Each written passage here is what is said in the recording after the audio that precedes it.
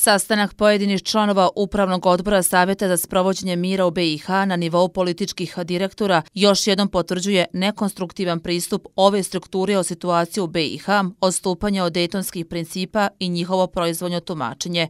Ovo je poruka ambasade Rusije u BiH nakon zaključaka sa zasjedanja PIKA. Nikakvi takvi skupovi ne mogu opovrgnuti očiglednu činjenicu nelegitimnosti Kristijana Šmita kao visokog predstavnika.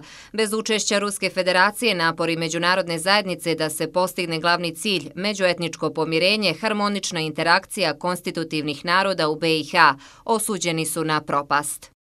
Predsjednik Srpske Milorad Dodik postavlja pitanje da li vrijedi objašnjavati norme detonskog sporozuma i političke prilike, odnosno neprilike u BiH, onima koji sami moraju objasniti svoj status i svoje djelovanje.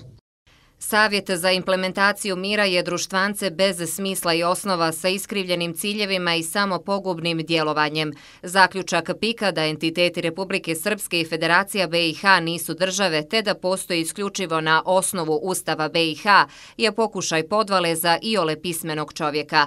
Na unutrašnjem političkom planu i Republika Srpska i Federacija BiH su države više od zajedničkog nivoa Bosne i Hercegovine. I zamjenik predsjedavajuće savjeta ministara Staša Košarac postavlja pitanje otkud pravo Šmitu da uopšte govori o institucijama Republike Srpske i njenim legitimno i legalno narodnom voljom izabranim predstavnicima. Nelegitimni stranac se drznuo da drži slovo o poštovanju Dejtonskog sporozuma u vječitoj težnji da se u ovoj zemlji ustoliči kao kolonijalni upravnik. To pravo on crpi iz nekog paralelnog univerzuma u svojoj glavi na osnovu nepostojeće potvrde Savjeta bezbjednosti UN-a. To pravo crpi iz pika nedejtonskog tijela koje čak ne predstavlja ni međunarodnu zajednicu, već je samo organizovanu grupu zapadnih ambasadora, čija mišljenja ne obavezuju nikoga u ovoj zemlji.